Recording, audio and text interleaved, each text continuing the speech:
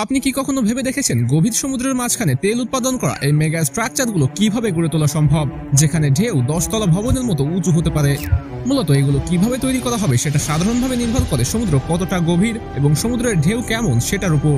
সমুদ্রের গড় গভীরতা প্রায় বারো হাজার আশি ফুট।